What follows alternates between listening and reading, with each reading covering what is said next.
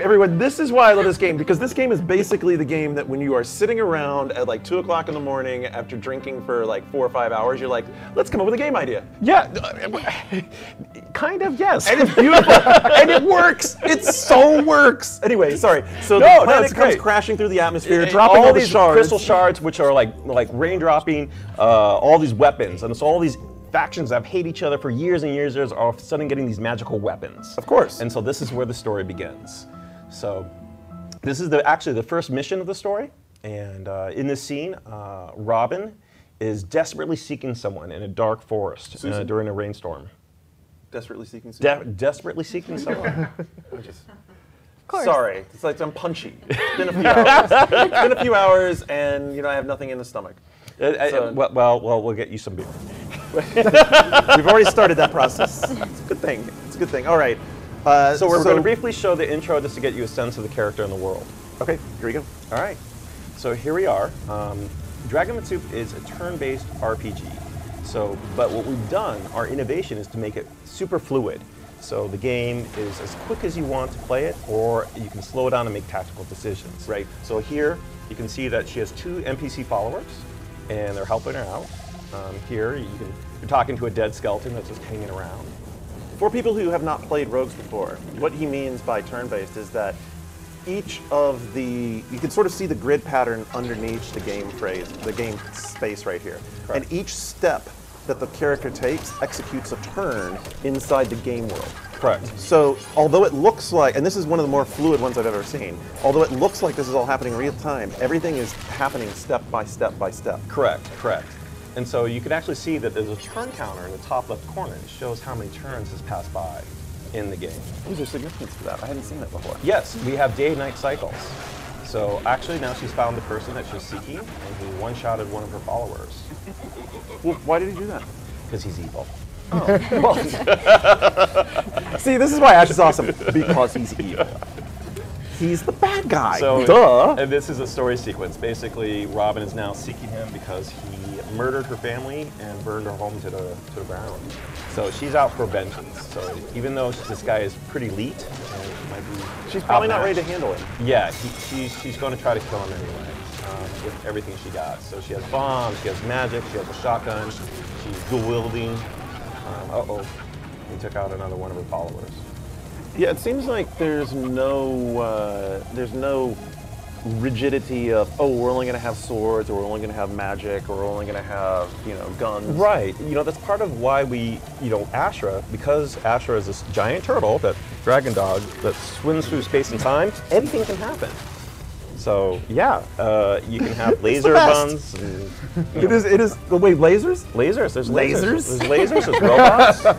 yeah, we have, you know, Lasers? monsters and lasers. Yeah. Pew pew pew pew. Yeah, we have pew pew pew pew. Like a, it's okay. Someone can gift that right there. That's a gift right there. Pew pew pew pew pew. Yeah. So as you can see, she was defeated, but um, Well, you that's the not the end of up- our No, story. no, no, this is just the beginning. Um, it's just a dream, and so what happening is, as I mentioned, Robin's a kind of a alcoholic bounty hunter, and she has these haunting dreams that. By the way, look what's happened to her visage.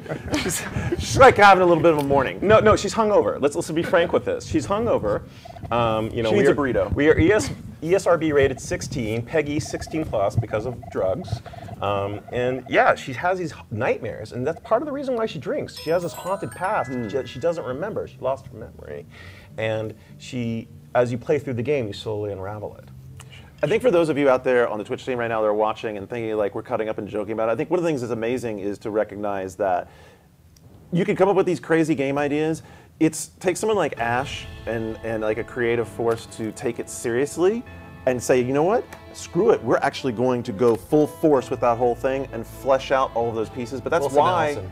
that's why it takes like three years. Is that is that once you start building all of these layers of oh, it's on a giant turtle's back, and there is a whole set of kingdoms, and there was a kingdom that rose up and everything was at peace, but then the peace fell apart. But then a giant meteorite came through the middle of it, and they dropped all these.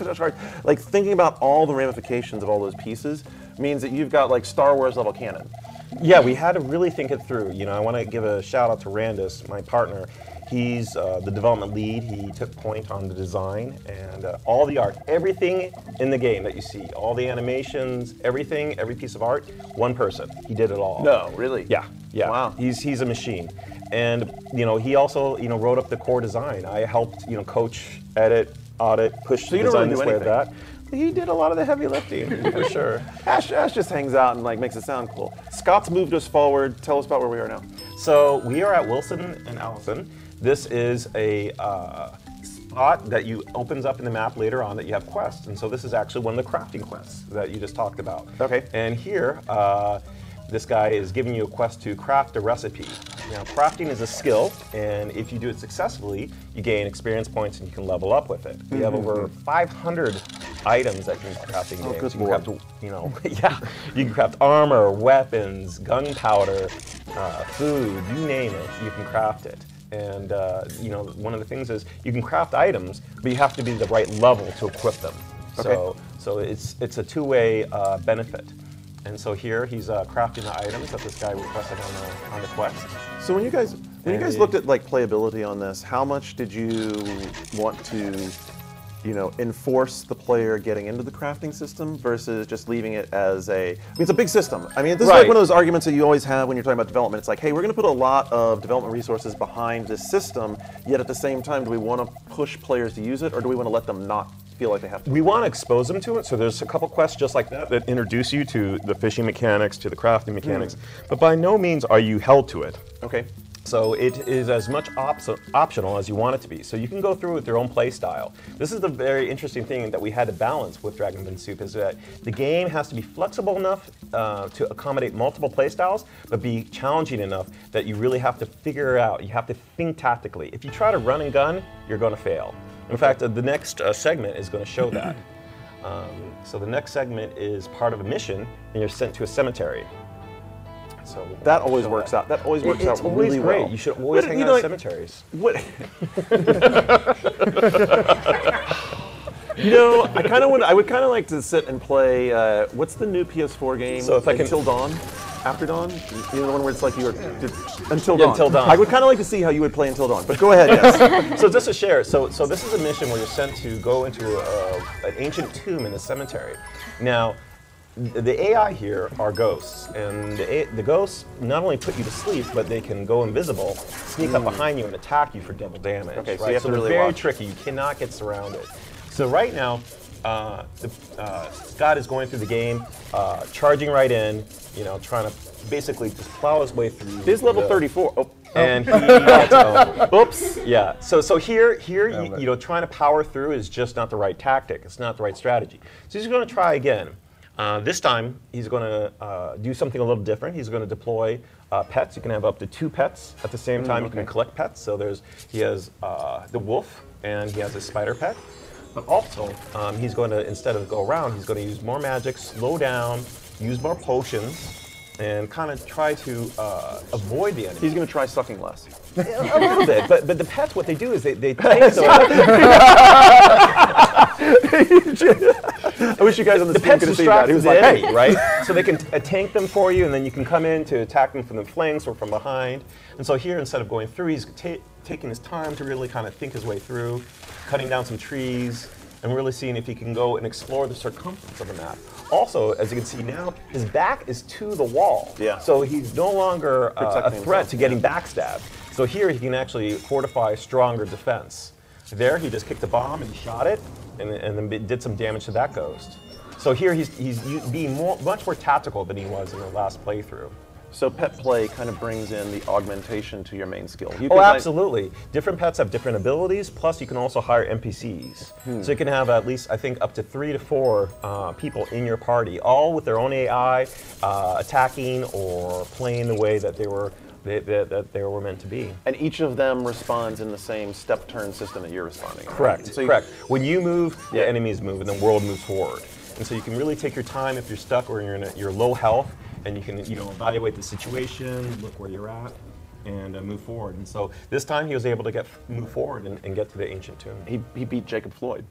I take it since Jacob Floyd was named that that was an important. We actually character. have all. We were a Kickstarter game, and we have uh, all of our backers um, at a certain tier in the world. Oh, that's cool. As as the undead, so you're going to see some uh, unique undead in here. Um, Okay, and let's go ahead and show them the last part.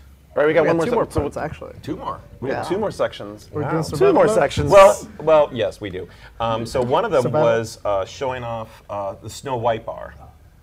Um, so Snow White, uh, you know, because Robin's a, a raging alcoholic, there's a, a certain dive bar in Ashura, and by dive I mean really dive. it's seedy. Uh, yeah, It's yeah, you can call it that. It's a place I would go to.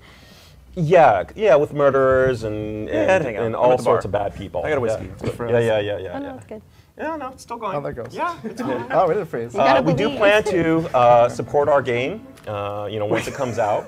So we you do know. plan to support our game. That's a good idea. That's, that's usually a good thing. That's usually a good thing. yeah. no, so you know, any any um, any bugs or, or things like that, we'll, we'll definitely look to address. Hmm. Uh, This is our baby. Uh, we, we love this game. We poured all our hearts into it, and we just want to share it with everyone. So You guys are super passionate. I really respect Yeah, that. I have, yeah. I have mad respect for that. Well, thank you. So this is this is Snow White, and um, here, uh, hopefully, Scott will not get pwned by all of his enemies. But he's If he does, we can tell of him to try bandits. sucking less. I mean, we Pretty can all try. A little bit, we a little bit. 15 and you just said point. Scott, I guess Scott just Belmont, he, just, he just he, he just dropped you back down. Yeah. He did drop you back down to level. Yes, He yes, did he drop you did. back down a little. So, um, so Snow White, you actually can't get in Okay. uh, immediately. You have to actually get a secret pass, uh, purchase it to get in. And so this is Snow White. Don't you get a And, uh, fake ID to get in? Yeah, I think, yeah. I think What really is that call it? Mhm. Really? That's amazing.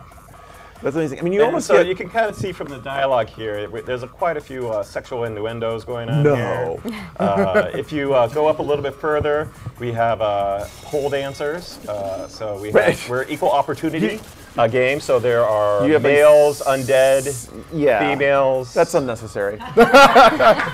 No, I, I, I don't know. I think it adds a little bit of charm. It- That's a, that's a unique sort of necrophiliac charm. I mean, dude, however you want to roll, that's your business. I mean, Well, you know, it's Robin. It's the world. I don't know what's going on now. The thing to be careful here is if you know she drinks alcohol to heal up, and if she drinks too much, she goes into a rage. oh really? Yes. So um, here just to kind Cheap of show you what that looks rumbleberry like. rum. Cheap rumbleberry rum, and you might want to equip some better magic because you're going to get. You know, the problem with rum is it gives you a tremendous hangover. Well, that's actually we have quite a bit of variety of alcohol. It's the today. sugar. It is. it is the sugar. It is. Um, the you problem also with those have- tiki drinks. We have well, actually, rum is our favorite drink. Honestly, we have Red Star rum in the game, Rumbleberry rum. Uh, do we have any other liquor other than rum? I don't think so. Zombie malt. Zombie malt liquor. Yes, we do. Zombie malt liquor. Oh, and we have yellow snow, yellow snow rum. Yellow snow rum. Zombie Yeah, malt That's that's that's brilliant. Zombie malt liquor bull. So here she's fighting up a lot of uh, bandits and thieves. Yep. Hopefully she doesn't die. She, as you can see on the right, as she takes more damage, uh, her rage meter is going up. So she's up to level Uh-oh, 47. uh-oh, Oh, oh, uh-oh. oh, oh, oh, Scott. Scott. Scott. Oh, well, Sorry. too bad. I mean, you're Who- gonna who to, wants to tell him? You have to play the game to see what happens when she drinks too much alcohol, I guess. That's fair. That's fair. They can come see it at your booth. That's right. Which is if you're coming, if you're here in Seattle or you're coming to uh, PAX for uh, whatever, have fun. Yeah, you're coming to PAX to be to be a PAX and play Support games. You indie can come play. What can they play when they come to the booth? Uh, they can play the game on PC, uh, PS4, PS Vita, and PS3. So What are, you- what are you going to let them? Uh, We- what trouble are you going to let We them get into? actually have the game available in its entirety to play. the whole So thing. if you want to sit around our booth for the for 60 hours at PAX and play through the entire game, How many stations do you have? you're welcome to. Uh, we have five or six stations. Yeah, six stations, yeah. And we're gonna have. All right, I have no idea how many people are on the Twitch stream right now, but I'm going to challenge you. I want someone to come down and and beat this game. I want you to come down, play the whole thing, beat the game, and Ash will give you a copy. yes, yes, I will. Right? Yeah. Yeah. I just promised that for him. So there you go. Uh, You we're want to also copy the gonna game? have two cosplayers there. Electric Lady and April Gloria are going to be as uh, Red Robin, and Morgiana, who's our alternative character, and also an important character in the story. And we got some really cool merch, prints, and posters. By the way, you can't get anywhere else. And all of it supports us. It all supports indie game dev. It's all going straight into literally paying our bills. Much love for that. Coming to uh, all the PlayStation platforms, Vita, amazing. Thank PS3, PS4. After that, iOS, Android. Hopefully, And Amazon. then, yes, yes. We'd love to see you guys there. Uh, I think we. I think there's a good chance of that. All right, so uh, are we finishing up here? What do you, what do you want to we show? are. What do you want to show at the um, end I here? guess. Uh, how many more off minutes we have left? How much do you want? I mean, Uh, I you think. Scott. I think there's a boss fight. We want to Show show for you? the boss fight. Yes, Yeah, Scott. end the boss show the fight. I think you should end on a boss fight. We're going to end on Everybody the boss loves fight. Uh, do you know where your booth is so we can direct people who come? I to think so. Uh, it's on the sixth floor. 6809 Booth That- number no one knows where the 6809. numbers in the middle of a bunch What's of booth indies. 6809? Of course. If you go to our Facebook, our Twitter, or our website, you'll you'll find it. We posted a nice little map of it. Okay. But go to the sixth floor and uh, wander around and look for um, Dragon Soup, and you'll find it. Facebook is GrimmBros. Uh, the GrimmBros, uh, Twitter, The Grimm Bros. and our website is www.dragonfinsoup.com. Cool. All right, so uh, Scott, you going to beat the boss, or are we going to leave that as a tease? How do you want to do this? I don't know. Oh, he's beat him. No, no. What do you think, Ash? Should he beat him? Can he beat I, him? well, I don't think he's good really enough. know. Oh, I mean, he's going into the feeding chamber. Anytime you go to the feeding chamber, that sounds dangerous. So in this the is first this is about midway through the game, and here you are trying to escape these dungeons, and the only way is blocked by tentacles. the giant kraken, and it has lots of tentacles. It, lo- it clearly has lots, Lots of of tentacles. tentacles. Tentacles attacking girls It's- and it's- young heroines is classic, I guess. So That's a well people have gone to before. Mm-hmm. Mm-hmm. And you do. I mean, you, it's dragon fin soup. It starts with a D, so it's sort of like D, yeah, sort of, sort of. except not exactly like D. Sorry if you know D. If you don't know D, the another one. You use the internet. Google is your friend. So you can see that um, this kraken has a lot of uh, tentacles, and um, to try to get close, you're going to have to defeat a couple of them. And also, it's casting a lot of uh, magic at you, so you have to be pretty seriously geared up for this fight. So if people come to the booth, are you going to allow them to skip forward and see some of this other stuff? If you want- Absolutely. If they want, if they want to just, if someone comes up to the booth and say, "Hey, I want to take a shot at the kraken," all right, let's do that. There you go. That's another challenge for you. You can come to the booth, sixth floor, and take a shot at the Kraken and the wiggling tentacles. uh, so look, Scott, get get up close enough so we can see the Kraken. Awesome. There you go. That's the Kraken. That is your challenge right there. If you're coming to PAX, sixth floor, Dragon Fin Soup, you can take on the Kraken. You can come talk to Ash and Hunter. You can see the cosplayers. They have lots of awesome gear as well to sell. Uh, and that supports them. It's not just because they're selling gear. They're selling gear to like get the game out. Pretty much, we're a five dev man No. team, and we'd love for you to come by the booth and, and check out our game. It's going to come out this fall. Uh, we'll probably be announcing dates, specific official dates in September. So there you go. And, um, so week or two from now, you'll be able to find out exactly when you'll be able to uh, hook up with Dragonfin Soup. So thanks so much, man. Much Hey, appreciate it. thanks for having me out. Scott, thanks for driving and taking my crap. I appreciate it, dude. Hunter, thanks for bringing everybody as well. Everybody, thanks as well. Uh, we will be back in just a moment while we change games again. More of the PAX Rising, PAX Day Zero broadcast right here on Twitch. We'll be right back.